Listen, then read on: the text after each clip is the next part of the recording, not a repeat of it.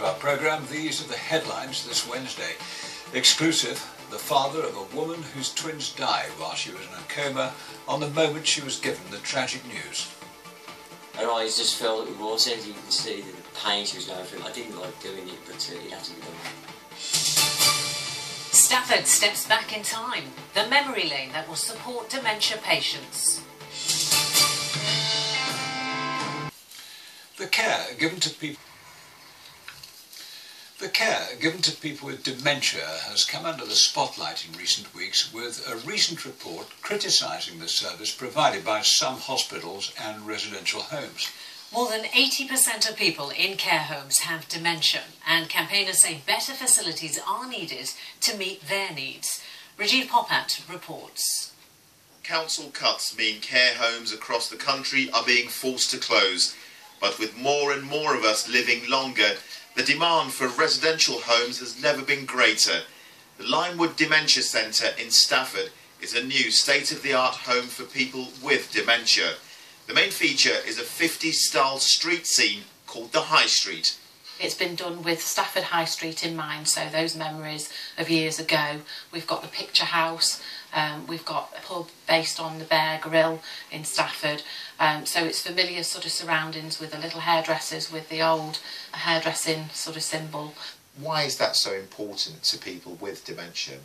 I just think it's it's letting them live um, as we would live, um, sort of accessing the community. The University of Stirling helped to design the centre, which is part of a £25 million partnership between Staffordshire County Council and a housing trust.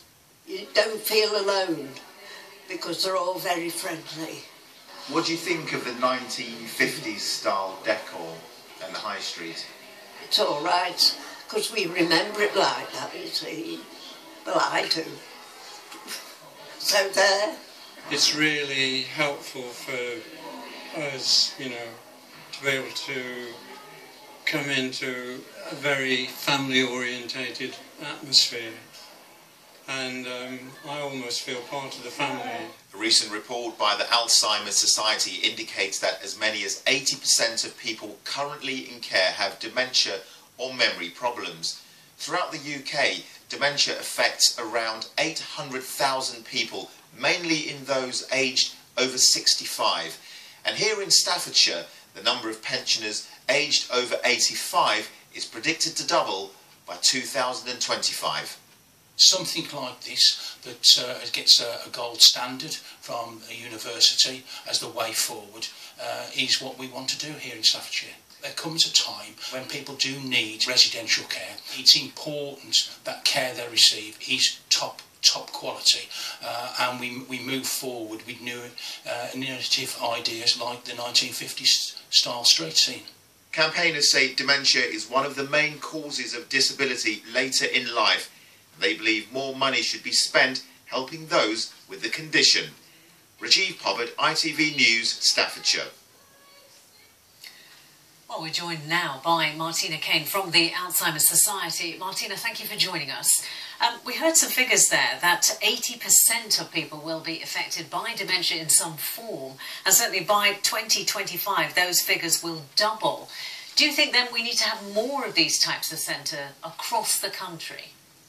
I mean, I think what's really positive about um, the centre that they've got in Stafford is it really seems to be offering a sort of person-centred approach um, to dementia care. So they've set it up so um, it reflects Stafford High Street, which may be something that the people who are from that area who are now in care um, are uh, can identify with, and that was something you were really hearing on the film, and that can really lead to a better quality of life for people with dementia. Do these centres uh, actually substitute other more traditional treatment? Like um, drugs, for instance? They're not a substitute for um, for traditional care, and definitely certain elements of care, such as um, helping someone to wash and dress, is never going to be replaced by something like this. But what this can provide is um, sort of interaction and something which will help someone um, make the most of their day to day life. And how does it help the families of people with dementia, Martina? Um, it can really help someone uh, to engage um, uh, with their family. Um, if they, uh, often with dementia, um, someone has um, a more easier access to memories that they have from the past than what they have on their um, on a day-to-day life. And a facility such as this might enable someone to have a talking point with a member of their family who's visiting. It may support a family to be able to have conversations and, and, and uh, create some more positive feeling for the person with dementia through those connections. Martina Kane from the Alzheimer's Society. Thank you for joining us this evening. Finally, a reminder of tonight's top stories on our programme. In an exclusive interview, the father of a woman whose twin's life support was switched off while she was in a coma has told ITV News Central at the moment she was given the tragic news. Jocelyn Bennett from Birmingham regained consciousness in hospital on Sunday, unaware that her babies, Melody and Rose, had died.